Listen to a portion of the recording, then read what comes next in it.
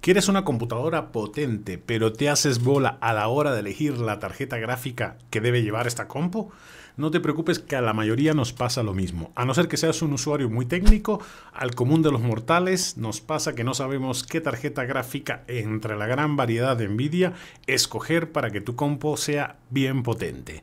Tampoco sabemos si necesitamos o no una tarjeta Nvidia. Así que yo te voy a explicar detalle a detalle para que al final te quede todo más claro y sepas hacer una buena elección. Así que no te muevas de ahí. Definamos algunos conceptos. Una tarjeta gráfica es un componente electrónico que va a transformar toda la información que llega a la computadora en imágenes o gráficos. Es la conocidísima GPU que es Graphic Processing Units o unidad de procesamiento gráfico. Esta pueden ser de dos tipos, integrada o dedicada.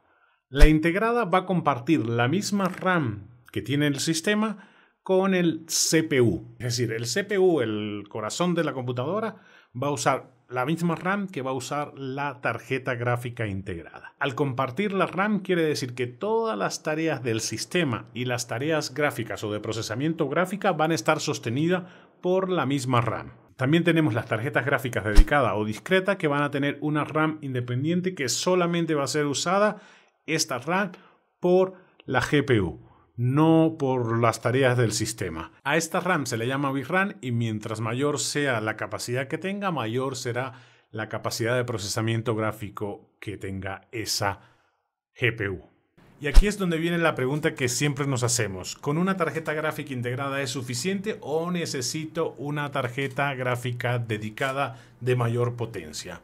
Lo cierto es que la tarjeta gráfica integrada tiene algunas ventajas. Tiene mm, es mucho más eh, silenciosa, los ventiladores no se activan al 100 como sí pasa con la otra y también permite que los fabricantes hagan computadoras más portátiles, laptops más delgadas, más estilizadas, que eso para el día a día y para la movilidad es un plus.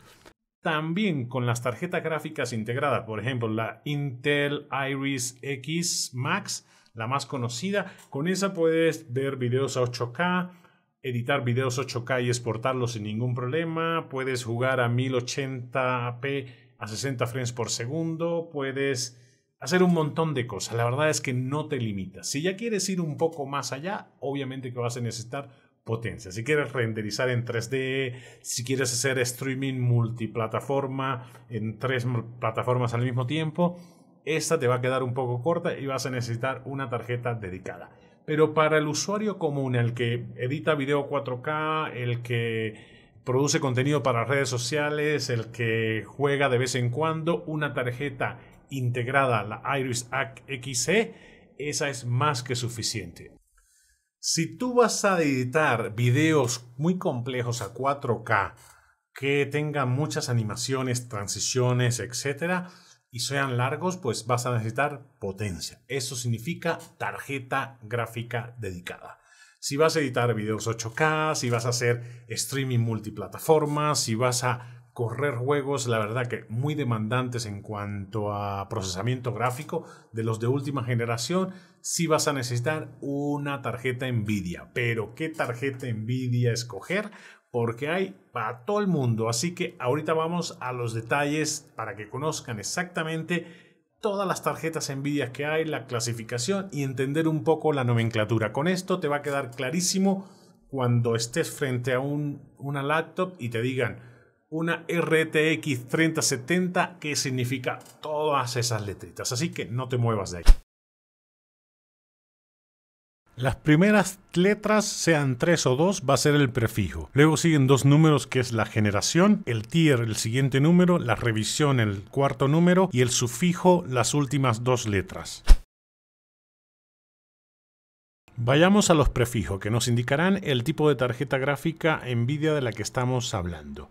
La primera de ellas, la GT, es para la gama baja, modelos de baja potencia y bajo consumo energético. Segundo, GTX, gama media, potencia suficiente para correr la mayoría de los juegos actuales. Las RTX, que es la gama alta y la más conocida, potencia superior y temperaturas más bajas, hardware dedicado para ray tracing. Estas son las tarjetas gamer por excelencia. Le siguen las tarjetas cuadro orientadas a profesionales, creativos, diseñadores, arquitectos que rendericen en 3D, aunque esto no implica que no la puedas usar para juegos estas tarjetas cuadro. Y por último, las Tesla, orientadas al mundo profesional, pero más al científico, es decir, tareas de aprendizaje profundo, modelos matemáticos, etc. También la puedes usar para juego, pero sería un desperdicio por el alto costo de estas tarjetas. Les dejo una organización de menor a mayor de todas las tarjetas Nvidia que puedes encontrar. Como pudieron ver, casi todas, desde la GT hasta la Tesla, tienen ventiladores, porque el procesamiento de gráfico genera una gran temperatura que hay que enfriar. Por ende, no esperen nunca que una tarjeta gráfica dedicada sea silenciosa siempre van a tener, por muy silenciosa que sea, el ruido del ventilador de fondo.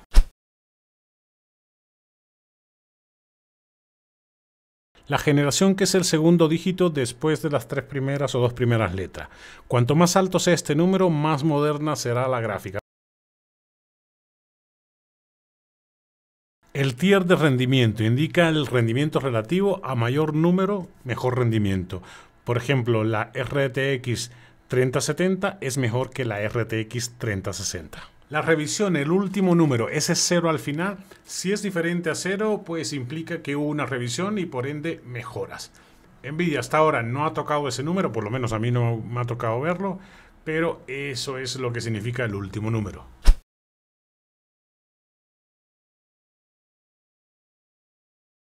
Sufijo, en Nvidia el TI titanio equivale más o menos al XTE de las gráficas AMD.